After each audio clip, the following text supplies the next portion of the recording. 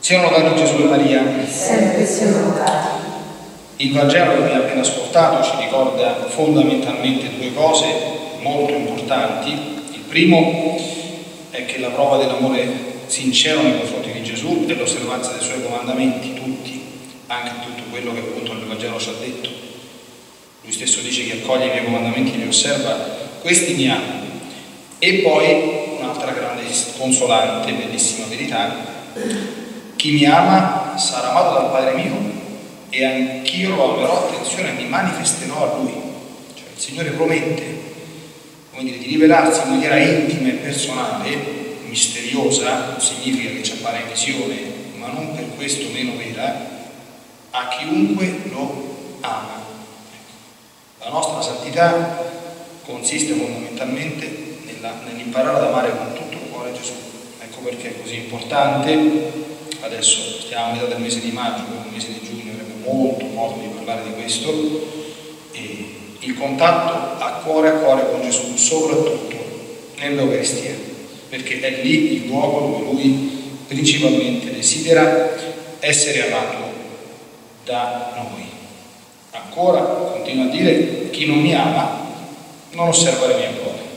Quindi se uno osserva la mia parola significa che mi ama, ma chi non mi ama, le parole non osserva, perché è chiaro, se io voglio bene a Gesù, lo amo. È chiaro che se sento una cosa che mi dice, anche se è difficile, tipo se uno gli dà uno schiaffo, cuci l'altra guancia, ma se lo amo, se lui ha detto così, va bene, cercherò di farlo anche se è tanto difficile.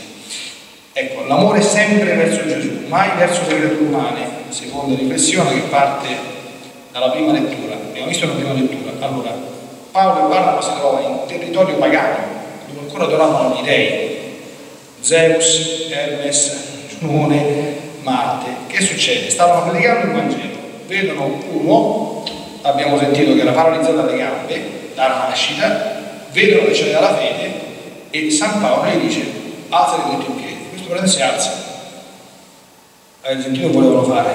Hanno chiamato addirittura il sacerdote del Zeus e hanno preparato l'altare, capite, per offrire un sacrificio tori a chi? A Paolo. Cioè, gli dei sono scesi sulla terra, quindi capite l'attribuire un fatto divino di cui San Paolo è stato semplicemente lo strumento all'uomo e quindi attaccarsi all'uomo, è stato un gravissimo peccato di idolatria. E San Paolo ha avuto fa fatica a divertirvi, non ha fatto niente sull'essere umano come voi. La cosa importante è che lasciate perdere tutte queste sciocchezze degli dei che vi convertite a Dio perché lui ha fatto un miracolo. Alla fine sono riusciti, abbiamo sentito, faticando.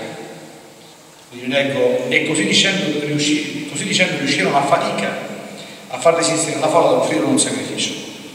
Noi dobbiamo imparare a non fare mai nulla per l'amore degli esseri umani, perché certamente nessuno oggi come dire, pensa che un uomo sia Zeus e gli vada a fare un sacrificio, però possono esistere delle forme di idolatria umana, vi assicuro che è così.